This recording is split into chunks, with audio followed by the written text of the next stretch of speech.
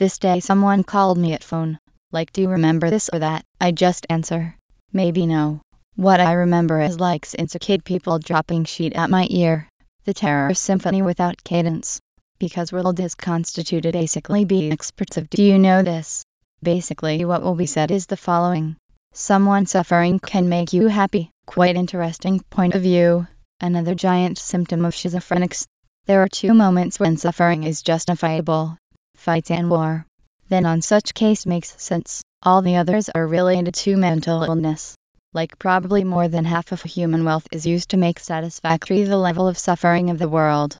To obligate the sufferers to move seems also the imminent death causes pleasure. That is why several persons are in love with the death, until you bomb them with death 24 7 like real deaths hospitals, wars, assaults and violence.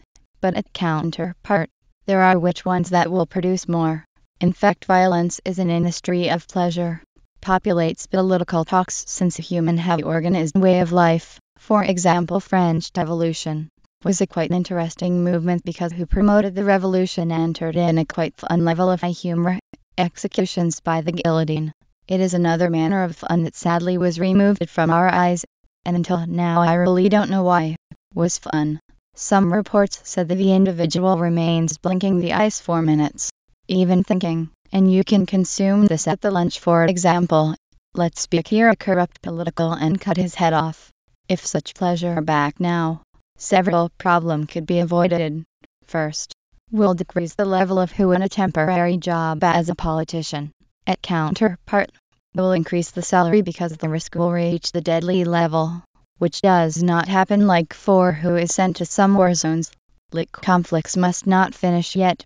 My next job need to be on field, not on such cheap country, but where people dies at uns. Then bring to air to show to teenagers at public schools make them have nightmares for a week. This is real education. You make the individual understand that first he will die and second he does not have option. The only thing is how he can die for example in a war, like killing who want to kill him, or in an overdose, car accident, airplane crash, during a crowd game. All of such things caused by engineering and politics isn't fun.